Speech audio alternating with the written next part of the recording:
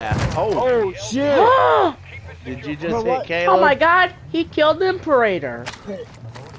Bro, he ran right. Bro, you ran right in front of the car. I'm trying to look to the